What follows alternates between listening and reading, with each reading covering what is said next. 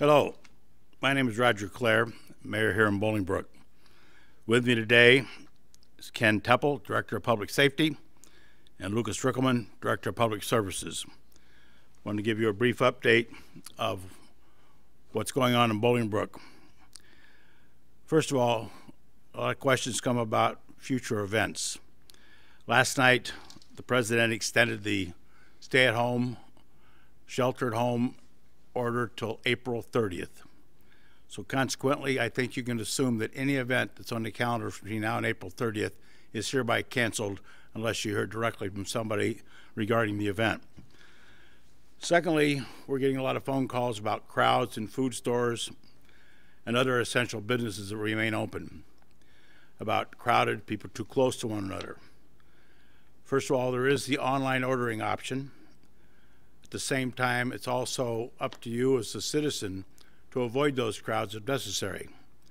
I'm not saying don't shop at a store here in town, I don't want to name any of them. Just be smart. If you go in there as a crowd, perhaps come back another time, or just avoid any congested area within the store. The same concern came up about gas stations as people are paying their bill, buying their lottery tickets, what have you. If people are crowding you in the line, please step back or ask them to step back.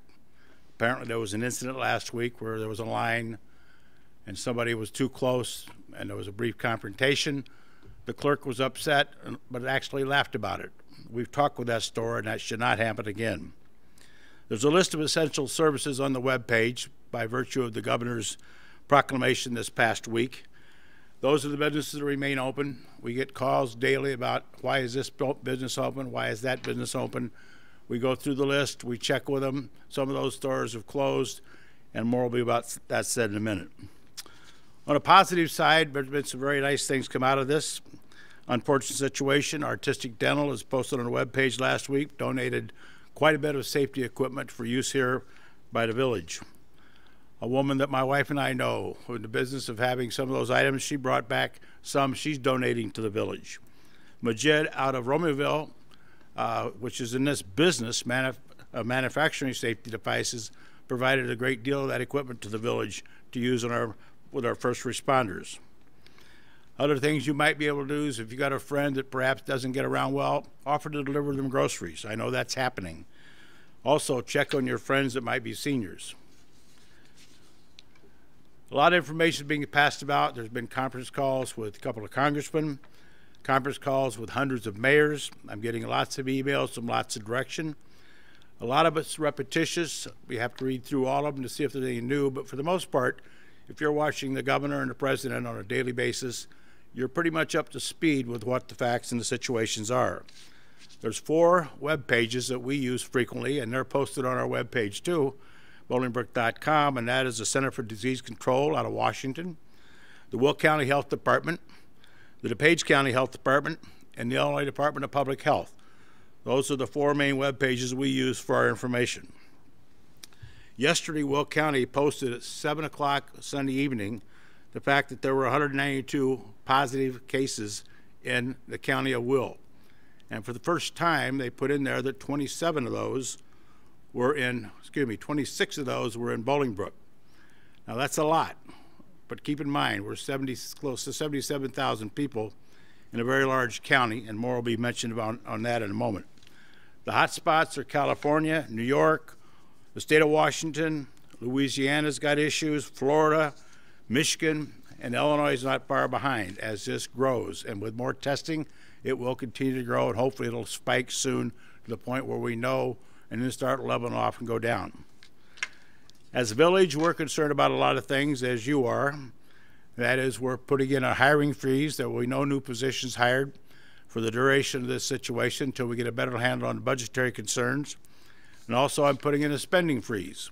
Nothing will be purchased unless it's absolutely essential over the next couple of months.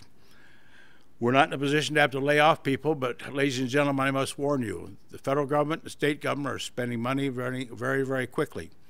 We are also spending funds in terms of keeping our personnel on board. But there will be a day of reckoning when this is all done. We'll have to true that up and look at our budgets and see what's left. That's just the reality of this situation, and you need to be aware of it. I was also questioned about the Will County Treasurer. in terms of tax bills, which will be coming out soon, property tax bills with their payment due in June and September. We did research that, and in order for that to be changed, it takes, I'm told, an act of the Illinois General Assembly because that's a statewide law that the first payment's in June, the second September. My guess is they would very quickly pass a law extending that, but it has not been passed as yet. The governor or the president and the Congress passed a bill which he signed into law, which is excess of $2.2 trillion of stimulus package to help the states and of course the federal government, businesses, and people. We don't know how that's all going to be doled out as yet, and you'll probably hear it on the evening news as about the same time we hear about it.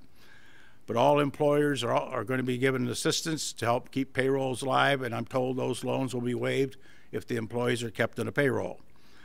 Additionally, we will see uh, residents will be getting checks depending on the size of the family and your household income.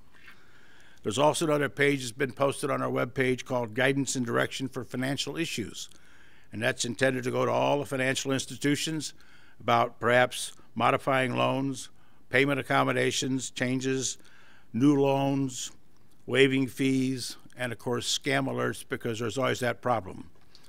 Anyway, at this point, I'd like to bring up uh, Director of Public Services, Lucas Rickelman. Lucas? Thank you, Mayor. Uh, to start, I would like to uh, talk about, uh, as I did last week, Wipes and uh, paper towels, please do not flush those down the toilet.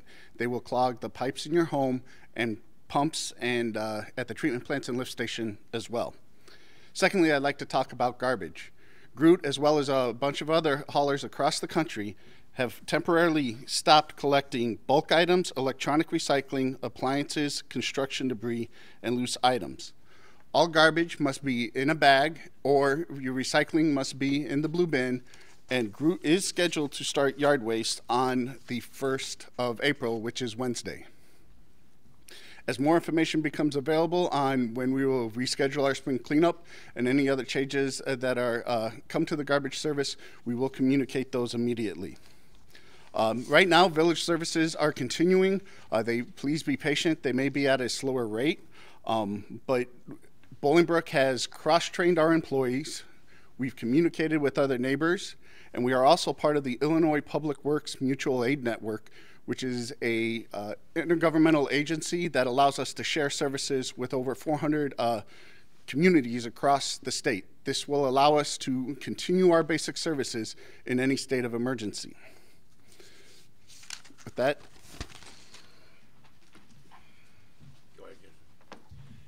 Good afternoon. My name is Ken Teppel. I'm the Public Safety Director here for the Village of Bolingbrook. As the Mayor mentioned, the County of Will has 192 positive confirmed uh, COVID-19 cases. There have been four deaths in Will County, none in the Village of Bolingbrook. We have 27 reported positive cases over the last few weeks that were reported to us last night by the Will County Department of Public Health. We have that testing facility here in Bolingbrook, which we anticipate with more testing, we're going to see numbers increase. But the testing facility is running at full speed. They anticipate sometime in the next few weeks of having a new testing machine there that will speed up the results of the test greatly. As of now, they're still only testing healthcare professionals and first responders. So if you're not one of those, just hang tight, and as soon as they open it up to um, the residents and citizens in the area, we will get that information out to you. I'm also here to tell you that police and fire are here for you. We are still operating at um, a full staff. We have modified our responses for service. For example, if you call the fire department, instead of four paramedics coming to your front door, there will be one paramedic, probably in full protective gear, assessing your situation. We may ask you to come out, meet us at the front door instead of going into your residence, and assess your, your uh, medical need, and then bring you out to the ambulance. We'll then contact the hospital and see if they want us to transport you or not.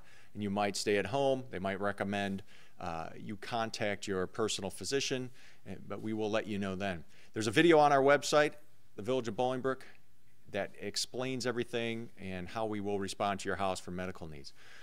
For police services, obviously for emergency services, or emergency calls, we are definitely responding as normal. If they're non-emergency calls or not in progress calls, officers are handling them from the telephone. If you come into the lobby at the police department, it's handled there.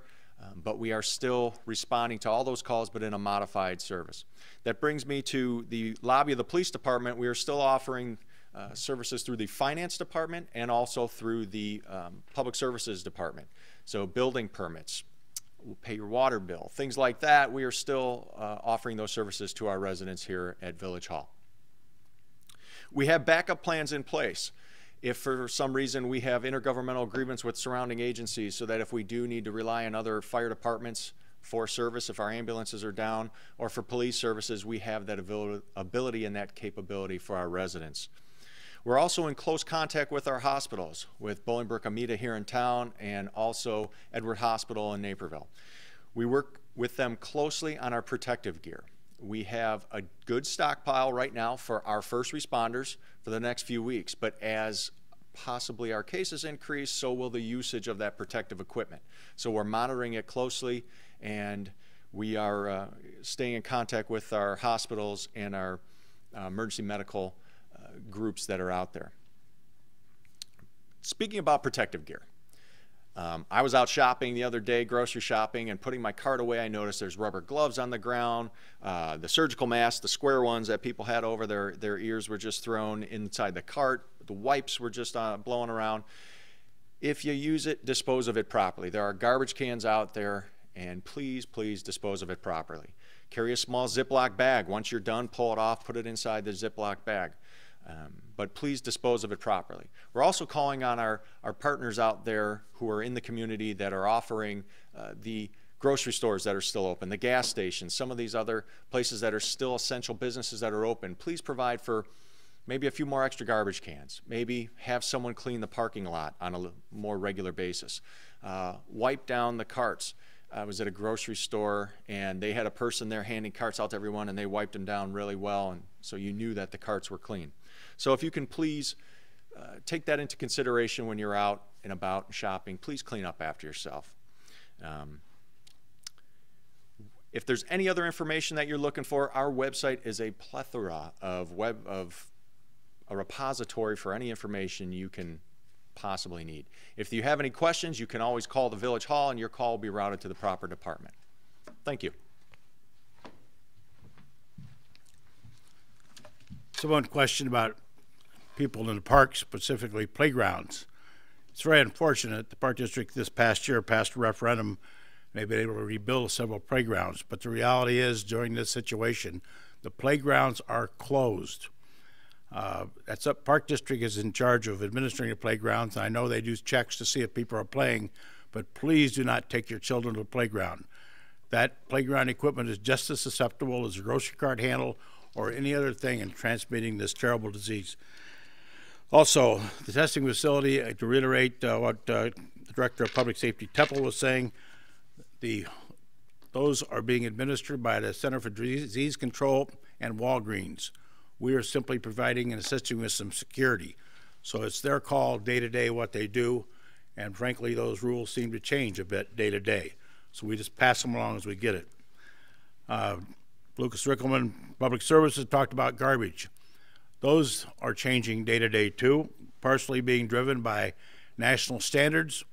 Uh, they're particularly concerned about their people that are picking up the refuse, the yard waste, the recycling, and so forth, trying to minimize their exposure. At the same time, they're also unsure about how many of their employees will be able to come to work. So this too could change day to day, and if it does, we will be posting on our Facebook page, or not Facebook, our web page immediately. This last uh, couple of times I've spoken, I've concluded with three suggestions, and I've now made that five. One is be smart. If you see crowds, avoid them. They're not going to disperse just because you ask them to. Unfortunately, that's the reality of the society we're in today. Be alert. Watch what's going on around you. If you see something that's wrong, let us know. We will see if we can get into uh, get that corrected. Stay calm. As this thing extended now to the end of uh, April, that's another month. Be calm. This is going to wear on tempers. I can tell you it's wearing on mine. Be safe. And of course, or excuse me, stay calm, stay safe, and lastly, you need to stay home. Thank you.